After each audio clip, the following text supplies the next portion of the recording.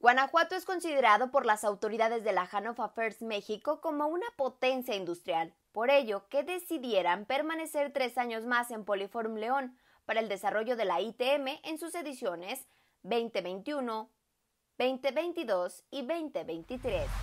El simple hecho, como resumen, de la manufactura, la mentefactura, es un claro ejemplo de lo que tiene que suceder en este país y de la gran ventaja demográfica que tenemos. Hay que aprovecharla eh, toda la región del Bajío es una potencia industrial, Guanajuato es una potencia industrial que también tuvo todo ese proceso de ser una economía agrónoma eh, primaria de algún sentido, pues hacer hoy en día un productor de, manufactura avanzada eh, que pocos estados y pocos países tienen.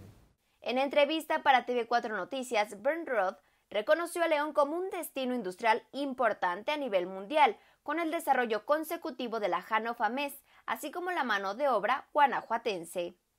Además, dijo coinciden con la ideología, mentalidad y política del gobernador de Guanajuato, Diego Sinué Rodríguez Vallejo, de desarrollar la industria 4.0.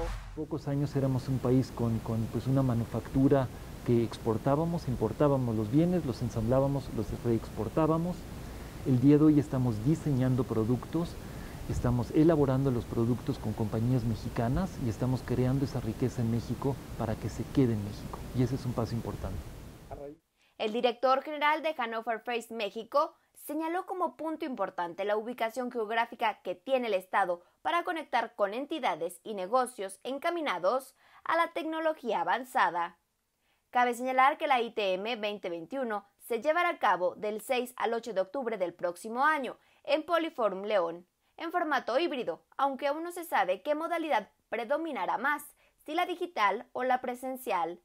Informó para TV4 Noticias Imelda Solano.